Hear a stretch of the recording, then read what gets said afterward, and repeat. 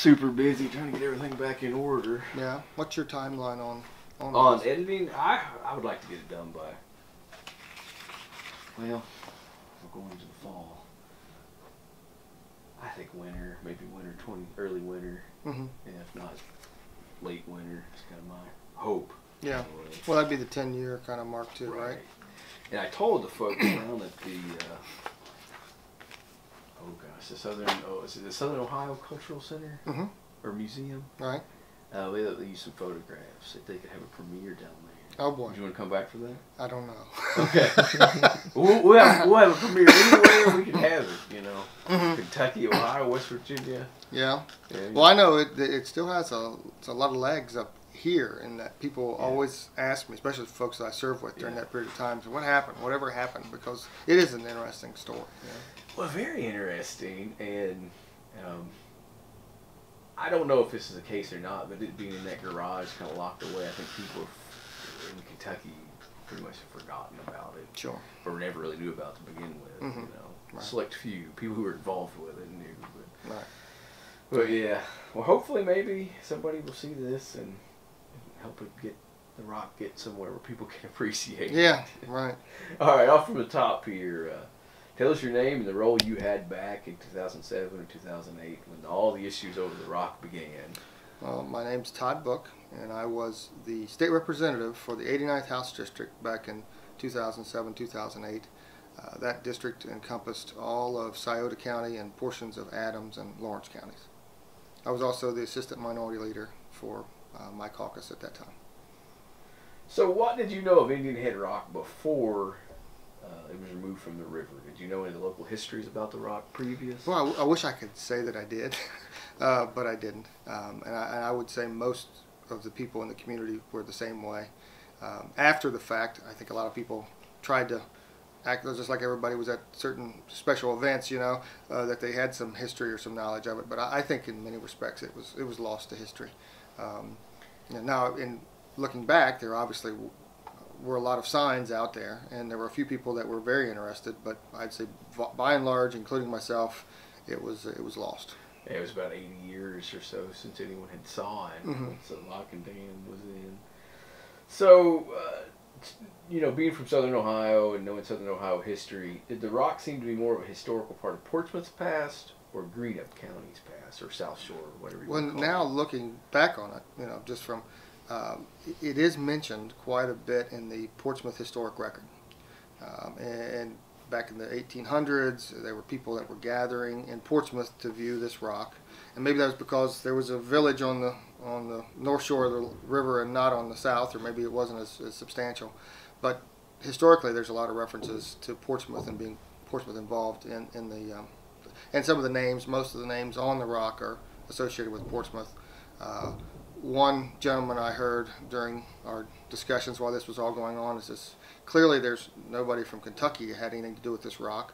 Uh, there's no X's on on the rock to to show their signature or their their initials, um, and I thought that was kind of funny.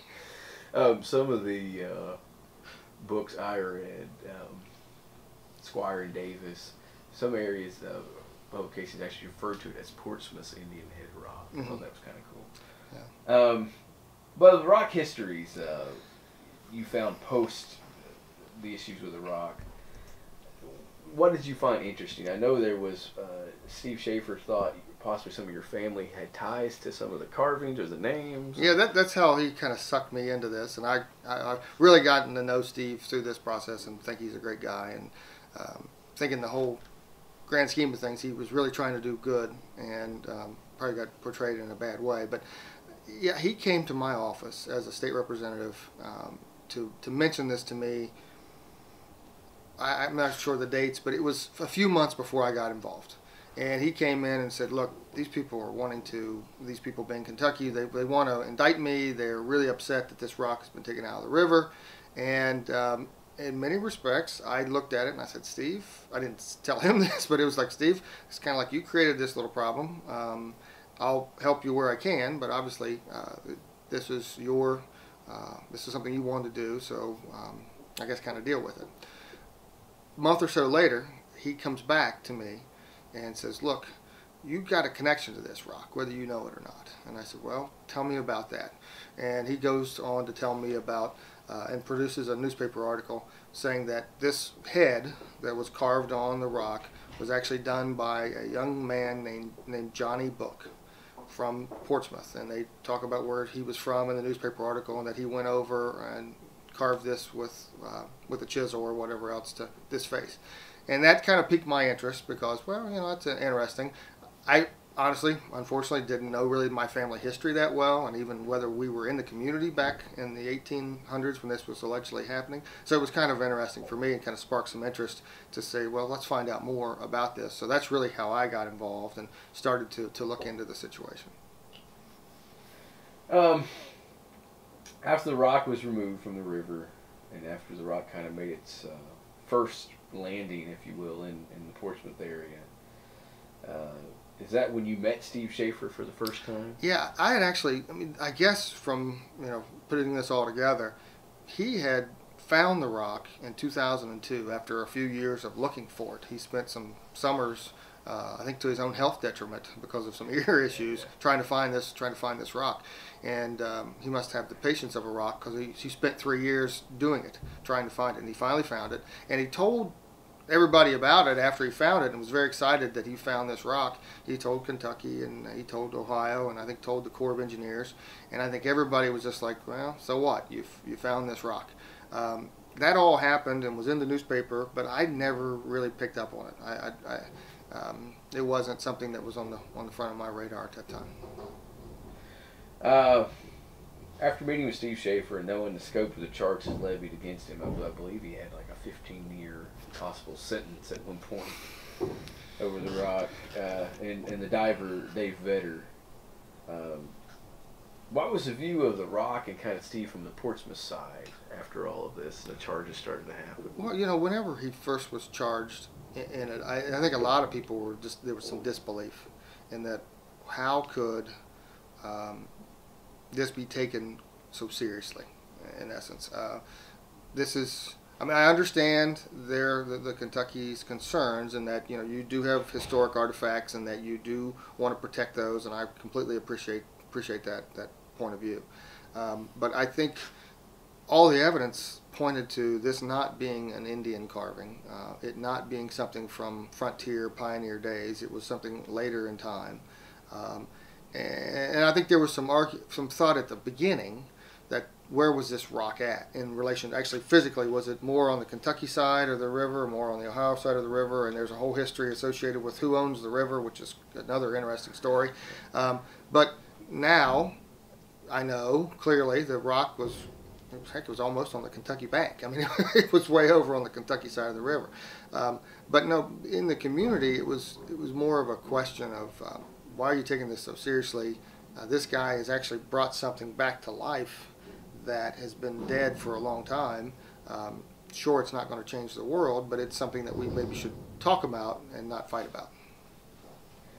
Um, so you, I talked to Randy Nichols, great guy, great local Portsmouth historian, and uh, he was talking about some of the kind of events the city had to try to uh, raise. Yeah, well, once I once I bit, I bit hard, and uh, and we started doing what we could to to uh, let the people know about what was going on with the rock and also make people have an appreciation for the history of the rock and, and, what it meant to Portsmouth and the fact that it had been mentioned in the Portsmouth Historic Record.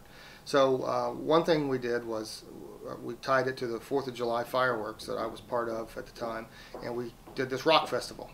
And uh, rock festival had rock wall climbing and, and different activities where kids could win prizes. Uh, and we had a big rock paper scissors battle to kind of like for, for prizes and things as well. But it, was an opportunity for people to learn about this rock and the importance of the rock. We also uh, a little later through the schools um, had a writing competition for I think it was fifth graders or fourth graders to talk about their local history and to write stories about how they think the face got on the rock. And they really enjoyed that and they re- received some prizes. And actually, a few of the kids came up to the State House and presented some of their, their writings to members of different committees uh, to, to support a resolution that was going through by the Ohio House urging Ohio and Kentucky to work together to try to find some kind of resolution to this. um, and to, to, to keep this in the, as a historic item that we should try to celebrate and not, like I said, fight about. Did you speak with any of the Kentucky officials at this point, or any of the politicians about the rock and what could be done to help resolve this contentious issue? Yeah, I mean, at the very beginning, in particular, uh, I was talking with a few state senators uh, over in Kentucky and trying to find a, a way to because it, it, it went from like zero to 500 miles an hour in a very short period of time. And trying to find a way to kind of bring this back and find a happy solution to this.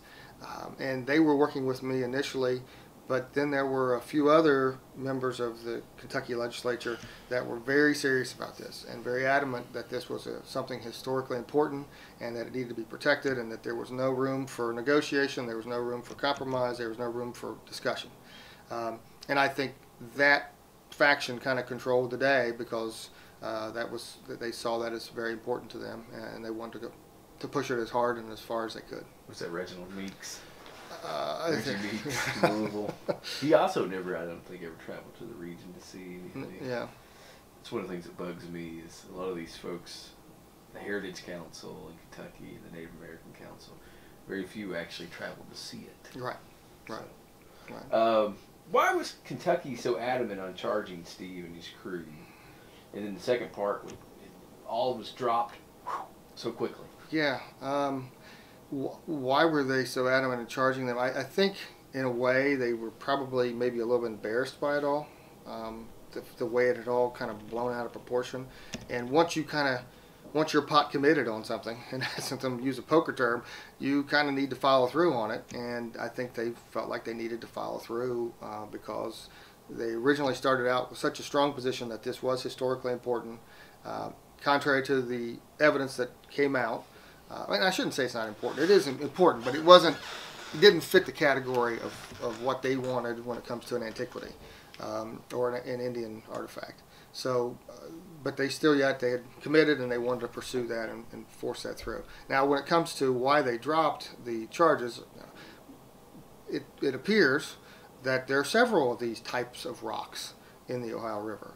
Um, I guess prior to the internet, people had to have something to do. So whenever the river would get low and rocks would start to show themselves, people would go out and carve their initials or their names or faces or images or whatever else on these rocks. And there not only was this rock there, but there were a few others in that very close area um, that fit the same description.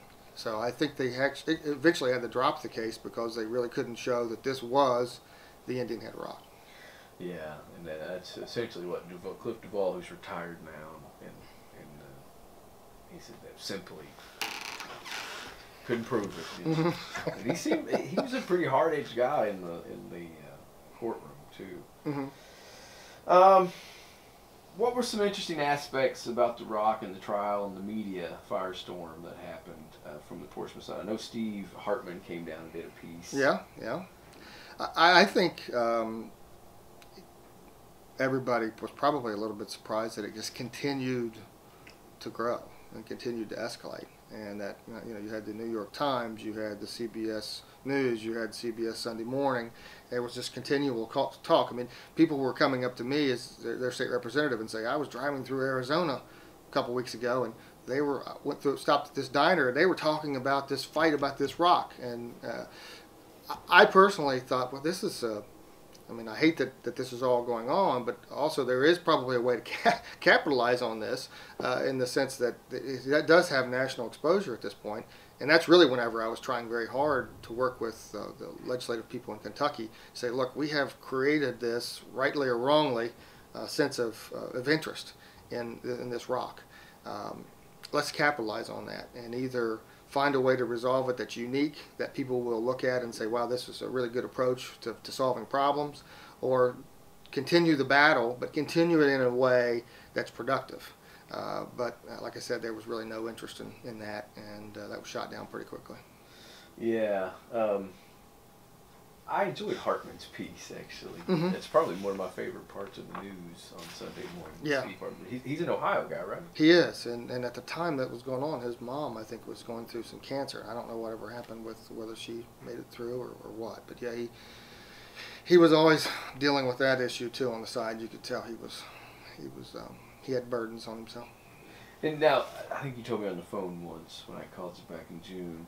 Was there a rock paper scissors part of a festival, or was that well something you guys had talked about? Well, uh, one of the things that I had talked about and floated as a way to resolve this, outside of continuing litigation, was uh, you know it's a, this is kind of a silly problem, and sometimes silly problems deserve silly solutions. And and I thought, why don't we uh, one of the things I proposed was let's have a rock paper scissors battle. This could be something that we've got all of this national exposure now.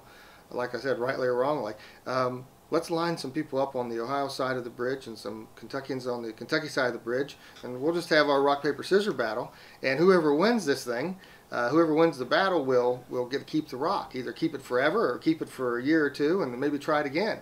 Uh, but historically, the communities and, and southern Ohio and northern Kentucky, that part of the state, we have things to do with each other, but not that much, really. I mean, uh, you would think there would be more of a cohesion there. No, I shouldn't. People marry each other across the river and all that, but and there's all kinds of Kentucky jokes on the Ohio side, and I'm sure there's all kinds of Ohio jokes on the Kentucky side.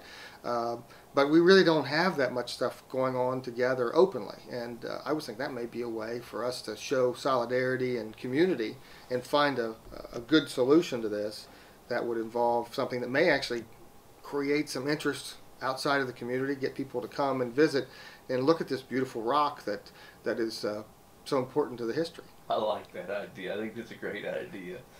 Um, yeah, people in those areas don't really intermingle. No, I, mean, I, don't really know a lot about that quadrant of Kentucky either. It's rural, mm-hmm. um, and um,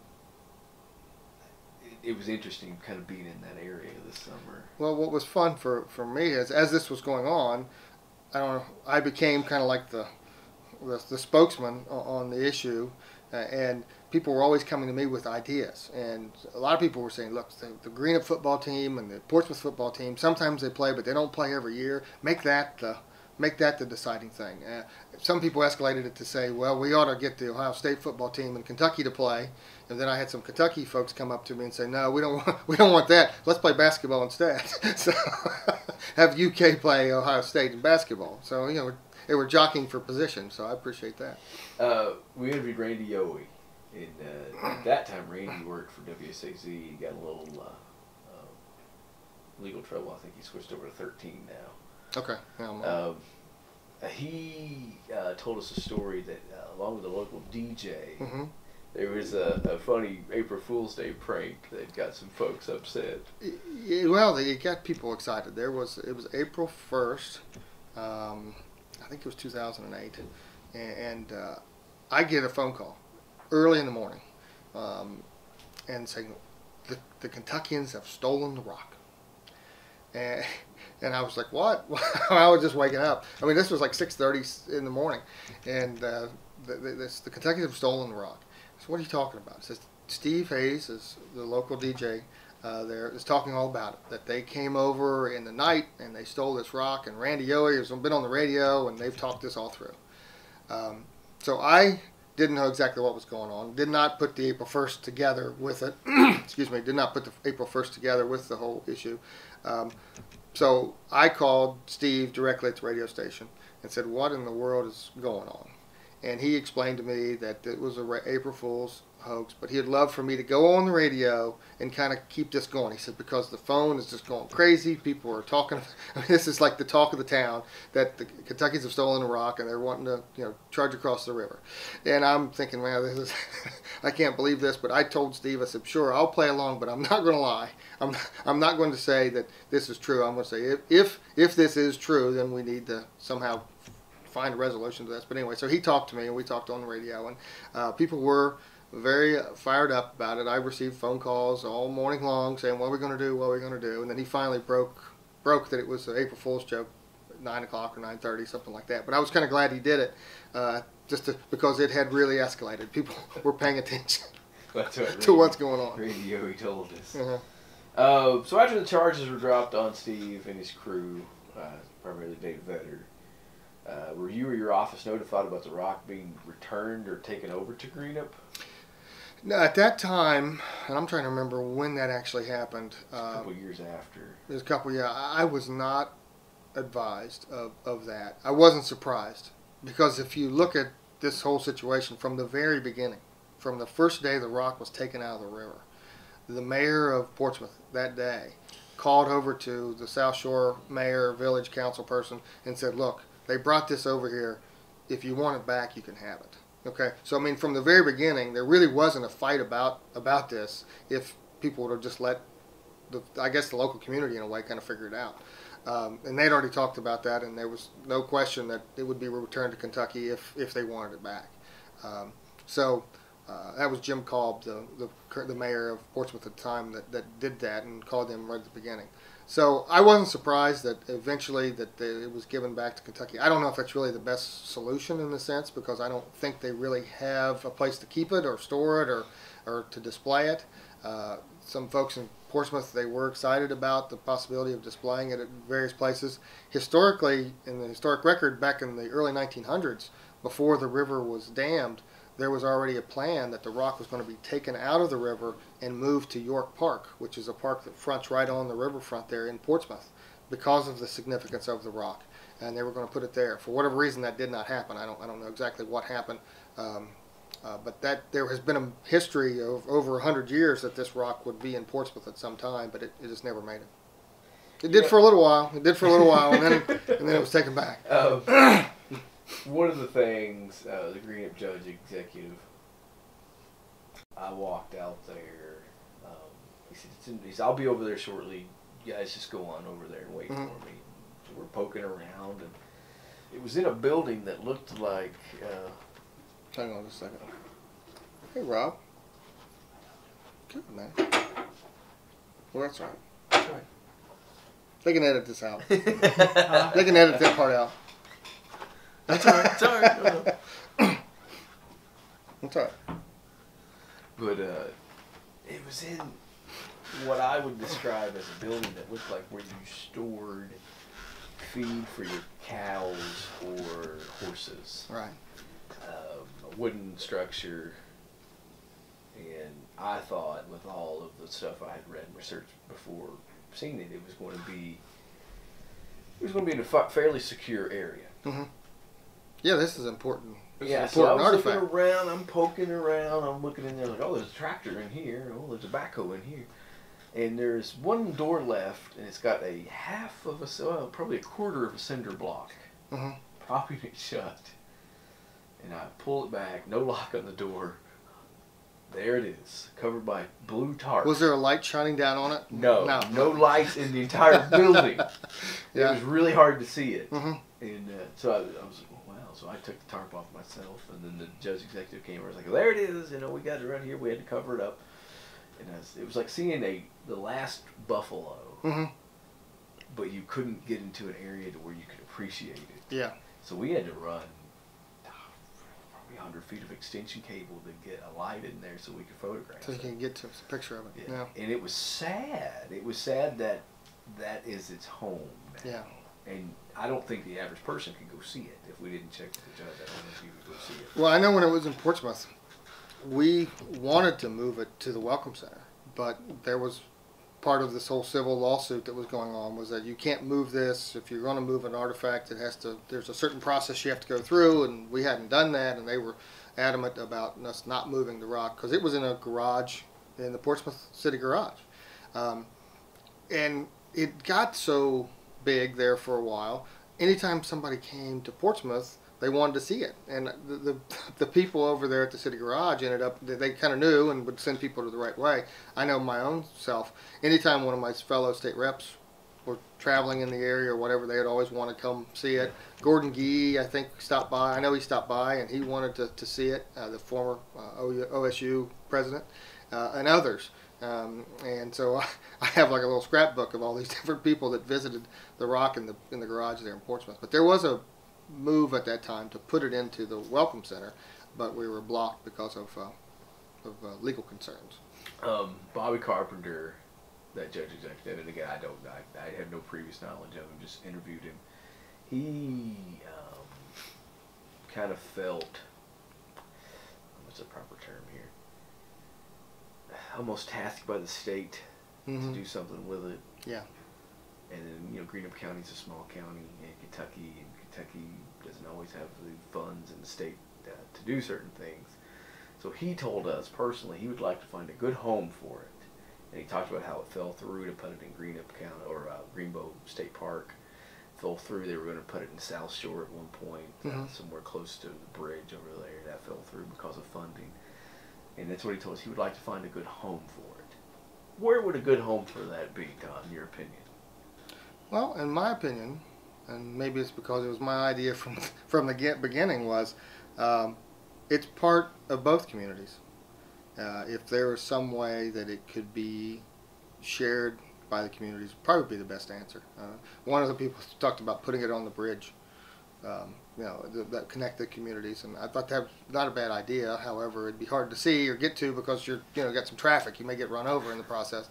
Um, but the idea of somehow sharing it in a way, if it's a if it's a friendly competition between the communities to decide who gets to keep it for the next year or two, um, that may not be a be a bad way to, to resolve this. Right now, it's benefiting no one. Um, it's kind of just stuck over out of the way where no one can see it or have access to it, uh, and um, it is something that's part of that community. It's been in the historic record for hundreds of years, and it's attracted attention for hundreds of years. And I think there's a there's got to be a way that these communities can work together to, to try to continue that in a positive way. There, there's something about rocks. I don't know what what it is, but you look at from Mayflower to to even in Jerusalem and the different rock. I mean, we have a an interest in rocks, and uh, it continues here. And I think this is part of that history of, of this community of trying to find a way to, to now celebrate this history instead of fighting about it. You know, we're coming up probably by the time we get this finished and, and ready to show, it'll be really close to 10 years of uh, when it was initially removed. But uh, what are your thoughts close to 10 years now after all this? Of course, you've, you've moved on from politics there in Southern Ohio and, and moved here to Columbus. What's your thoughts on it looking back on all this now? Well, looking back, uh, I have two thoughts really over overall. One is I think it was a missed opportunity. I think we had an opportunity, and I shouldn't say it's lost. It's a missed, and maybe we can do it. We can fix it and, and do it now. Uh, but we had an opportunity where people were focusing on the area, and we could have found a, a unique way to resolve this, uh, and benefited in the process. I think the other thought is um, Steve Shaffer has should be celebrated for bringing back to life some of the history that had been completely lost, completely forgotten, and uh, instead he was uh, turned into the bad guy and was tried to be portrayed as someone that was trying to, to do bad things. And really, all he was wanting to try to do, I think, was fulfill uh, a commitment he made to himself as a kid to find this rock. And then once he found it, he was so excited about it, he wanted to let everybody else know that it was out there. And uh, uh, I don't think that's a bad thing. I think the fact that he was trying to bring history back to life for the community is a, is a good thing, and he should be celebrated and not looked at as a as a pariah. Yeah, Steve was such a gentleman with us, working with us, and I met with him several times. That he would give us books and some of his personal effects to read to kind of know the knowledge behind it, and and uh, that's sort of what made me get a little apprehensive about some of the folks on the Kentucky side who never saw the rock. Mhm, I was thinking if you were that passionate about this battle, you, I think you would have drove to Portsmouth or even Greenup and looked at it. Right, right. And and, and And saw that there was no X's and moved on. and Steve told us uh, he said he read about it as a little boy. You know, he was a Yeah. young kid and he read about it. and He was fascinated by it his Mhm. entire life and fascinated by rock art and, and Right. And uh, he was such a great guy. And uh, you know, I love history too. And I thought that was great that he knew so much history Oh, about yeah. it. And then I realized very quickly how bad he got beat up in the process. His head was full of this rock. I mean, he was, it was, he told me stories. He would come into the office when this was all going on. Say, you know, I think this thing's sending me signals, you know, because he's all I can do is think about this and how we can try to resolve this and, and get this taken care of. And, uh, uh, but it was, it was fun to, to talk with him and work with him through this. Uh, I think sometime in the future, he'll be recognized, I think, for bringing this back to life. Um, I just hope that happens sooner rather than later. Yeah, and you can tell um, he's still very passionate. Yeah. And uh, first time I talked to him, I figured he'd be extremely apprehensive, and I said, "No, I think this is a very interesting story, and it's, you know, sort of the open here and the close is going to be this rock is in this county garage covered by a tarp, and no one can see it. Mm-hmm. You know, and maybe there's a happy medium somewhere where people can actually appreciate it. Right. You know, after all of this, and you can tell he's still very passionate about it. Mm-hmm. I still got a ton of his uh, books. I need to get back to him too. But very nice man. Yeah. And he got beat up very badly Mm-hmm. in this process, and legal fees, of course, things Sure. like that he had to pay. Mm-hmm. No. But he talked. He talked about uh, in the interview the elation of when he found the rock. Yeah. He looked for it. I believe he told us five or six years. Well, yeah, I think he did some actual historical work, and then he was in the river for a long time. and uh, he somehow stumbled upon it was if you stood on Bond Street in Portsmouth, it was directly across from Bond Street. Mhm. And apparently, the streets changed, and Shawnee State's there now. And Right. somehow they they located, but uh, and he talked about the opposite when he found the charges were completely dropped. Mm-hmm. So from this initial elation of finding it to knowing he's not going to go to a federal penitentiary. Yeah. Just the differences in emotion, and that was I thought it was very touching. Mm-hmm. Was he Very happy at the end, or, or was he a little bit lost? lost. Yeah. Uh, he was just kind of upset because you know he felt he, like you said, brought history back, and Mhm. he was the bad guy. Yeah. doing all. Yeah. So, Yeah, I think all along it was a little disbelief on his part. Is how why is this why is this doing this? Why is this happening this way? yeah, and I think Steve's a great guy, and Yeah. if anything, maybe this project can help people not just appreciate him, but think, wow, you really got beat up there Mm-hmm. for a while. Yeah. Um, give us some closing thoughts here, Todd. Anything you want to say about The Rock or the future of The Rock? Maybe some thoughts you could give to people who might would see this, who would think about The Rock or the region. I mean, you know, a project like this is going to have a niche, but there's still going to be a ton of people from the region saying it was just a rock. It's a big deal. Right, right. Well, you know it is. It is just a rock, um, but it's a rock that tells a story, and it's a rock that tells a story about a community, and folks that live there, and people, folks that thought it was important enough for them to row out to this, to out into the river to carve their initials or their their uh, images or whatever on this rock. So, um, it's um, it's important that way. It's also important for I think the community uh, because it has a way or has the ability to bring us together and not divide us. And I think his, I think really the community's probably moved on in, in many respects. This is not something that they even talk about or are concerned with. But you still have this uh, piece of history that was lost. Now it's found. Um, if there's a way to, to share that, we should do that. Um, my good friend Mark Twain said it's it's better to, to steal something to, than to let it lie around neglected. And we have this rock that's lying around neglected. Um, let's find a way to to to use it for a benefit. Perfect. Yeah. Good. Yeah, Give her a very- cut there.